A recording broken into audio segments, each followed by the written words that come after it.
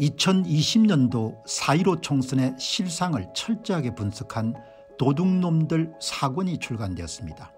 여러분께서 구매해 주시고 널리 퍼뜨려 주시기 바랍니다. 선거를 바로 세우고 나라를 바로 세우는 정의로운 길에 여러분께서 적극 힘을 더해 주시기 바랍니다. 감사합니다. 자, 여러분 이게 힘듭니다. 신문사도 고객이 있는 거지 않습니까 유튜브도 고객이 있지 않습니까 고객이. 예. 고객들은 의사 정원을 증가시켜야 된다는데 공병호가 여러분 의사 정원을 증가시키면 은 의료비 지출이 폭증해서 너무나 큰일이다 이렇게 이야기하게 되면 사람들이 미워하는 겁니다. 예. 이 고객의 눈치를 볼 수밖에 없는 거죠. 그래서 대부분의 언론 매체들이 대중을 그냥 대중을 추종하는 겁니다. 함께 아부하는 겁니다. 그 사람들이 듣고 싶지 않은 이야기를 안 하려고 하는 겁니다. 고객의 눈치를 볼 수밖에 없는 거죠. 지금 워싱턴 포스트가 야단이 났네요. 예, 워싱턴 포스트지는 그레이엄 집안인가 하는 집안에서 이제 아마존을 창업한 예, 베이조스가 구매한 거지 않습니까 워싱턴 포스트 스태프들이 두려워한다.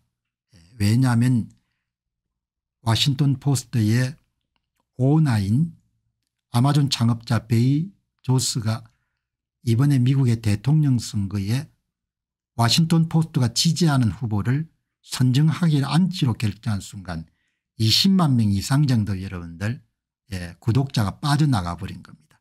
그 내용을 오늘 월스트리트저널이 대대적으로 다뤘네요. 예. 신문사도 참 힘든 겁니다. 정론을 펴야 되는데 다수 대중이 예, 정론에도 불구하고 다른 생각을 갖고 있으면 은 그러면은 여러분들 이렇게 손해를 감수해야 되는 겁니다. 여기 보면 예, 이게 25만 명이 빠져나갔네요. 어마어마한 숫자가 빠져나갔네요. 25만 명이 25만 명 이상이 와싱턴 포스트 구독을 포기해버린 겁니다. 예, 이게 여러분들 참 큰일이죠. 그걸 오늘 국내외 신문들이 잘 다뤘네요. 와싱턴 포스트 특정 후보 지지하지 않겠다. 선언에 25만 명 이상이 구독을 끊은 겁니다. 20만 명이 아니고요. 전체 구독자의 8% 빠졌으니까 큰 수치입니다. 시간이 갈수록 계속해서 절독자 증가 추세가 있다. 미국의 공영 라디오 방송이 보도했다. 공영 방송이 보도할 때는 20만 명이고 예, 월스트리트저널이 보도할 때는 25만 명 이상이 구독을 취소해버린 겁니다. 그래서 이런데 이 논평을 하는 사람들도 계속해서 대중의 눈치를 볼 수밖에 없는 겁니다. 예.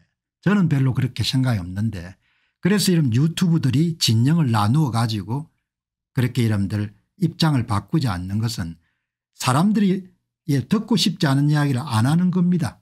예, 그냥 친윤 유튜브 방송 친윤만 방송하고 딴건입 다물어 버린 겁니다.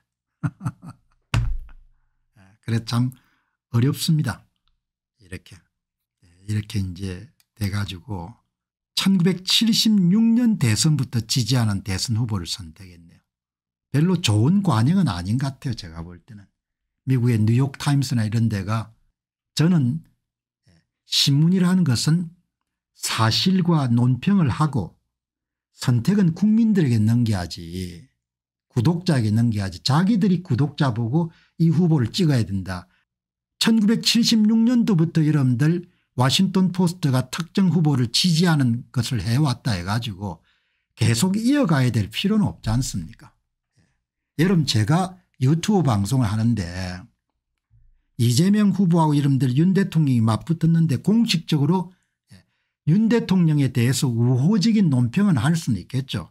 그러나 윤 대통령을 찍어라 이렇게 할 수는 없지 않습니까 그 이번에 미국 대통령 선거에서 우리가 투표권은 없지만 제가 사실을 보도하지만 나는 트럼프 후보 편이다 나는 해리스 후보 편이다 그렇게 안 하지 않습니까 그거는 각자 개인이 알아서 할 일이지 예? 어느 유튜브가 뭡니까 나는 해리스를 원한다 이렇게 할 필요는 없지 않습니까 예. 와싱턴 포스트도 마찬가지인 거죠 예.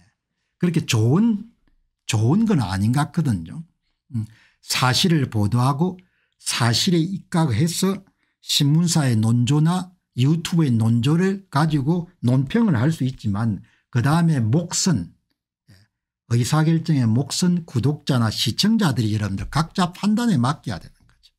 예. 여러분 지금 제가 논평하는 것이 불편하시는 분도 계시겠지만 그건 제가 갖고 있는 오피니언 의견을 필요가하는 거지 않습니까 이 마이클 두카키스 메사추세츠 주지사는 예, 여기 루이스 사장입니다.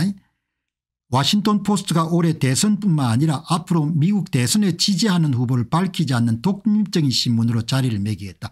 새로운 전통을 수립하겠다는 겁니다. 그런데 이제 익숙해 있던 그런 구독자들은 열렬하게 되게 민주당 지지하시는 분이 많으니까 그러니까 왜 해리스 후보에 손을 안 들어주냐.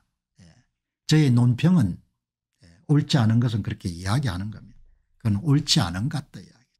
앞으로 저는 뭐또 마찬가지입니다. 선거가 있더라도 국힘당을 지지한다 이런 이야기 할 필요가 없는 거죠. 그건 사람들이 알아서 결정할 사안이고 나는 윤 대통령을 지지한다 그런 이야기 윤 대통령 지지 안 했지 않습니까 입 다물었죠. 이렇게 여러분들 보시면 좋겠네요. 이제 뭐 반대하시는 분들은 어마어마하게 여러분들 격앙돼 있는 거죠. 와싱턴 포스트가 배반했다. 아마존 창업자가 여러분들 권력의 눈치를 보고 보기 시작했다. 이렇게 주장할 수도 있는 겁니다.